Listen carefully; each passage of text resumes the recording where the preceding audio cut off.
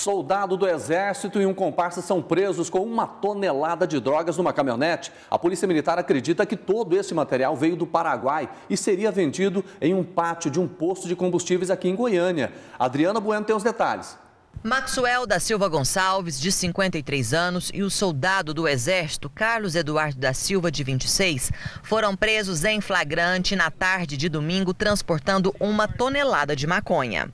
De acordo com a polícia, a equipe estava em patrulhamento de rotina pelo setor Centerville quando os PMs avistaram essa caminhonete. O peso do veículo chamou a atenção dos policiais, que pediram para o motorista parar. O homem teria ignorado a ordem e começou a fugir. A perseguição pelo bairro começou. A polícia só conseguiu conter o motorista depois de efetuar um disparo no pneu do veículo carro estava abarrotado de drogas, tabletes de maconha na carroceria e no interior do veículo. Ainda de acordo com a polícia, o entorpecente vinha do Mato Grosso do Sul. A caminhonete estava com placa clonada. A verdadeira é essa aí de Joinville. O veículo não tem registro de roubo. A droga seria deixada em um posto de combustíveis na BR-153. Esse veículo, que é do soldado do Exército, estava no posto. É, daqui a pouquinho nós vamos mostrar aqui no Jornal do Meio Dia que teve mais apreensão, 40 quilos aí de maconha, mas por enquanto vamos abordar mais com o Tenente Coronel Jorge Marreiros, ele que é subcomandante do Comando de Policiamento da capital, está ao vivo conosco para falar dessa apreensão de uma tonelada. Boa tarde, Coronel. Boa tarde, Luciana. Boa, boa tarde, Jordeuar. Coincidentemente, na véspera de feriadões aí, a gente tem o registro né, de apreensão de grande quantidade de drogas. Onde ela seria distribuída?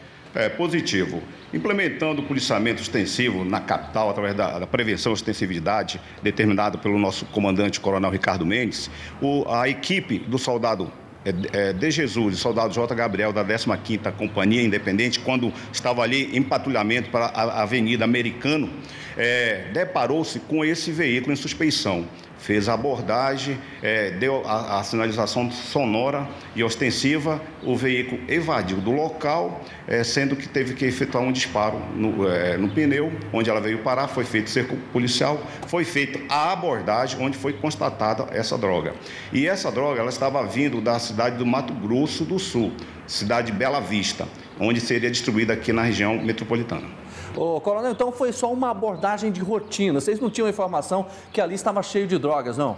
Não, é, é, é, vale a pena ressaltar que foi, não é uma abordagem, foi uma abordagem do patrulhamento é, determinado pelo nosso coronel, comandante da capital, o coronel Ricardo Mendes, através de operações que nós desenvolvemos em toda a capital. Então, essas operações, elas têm detectado, nós temos feito várias apreensões de drogas, de armas e reduzido os, os índices criminais da nossa capital. Agora, o senhor concorda comigo que na véspera de feriadões, nós temos aí, dia 2 de novembro chegando, é, a circulação de droga aumenta?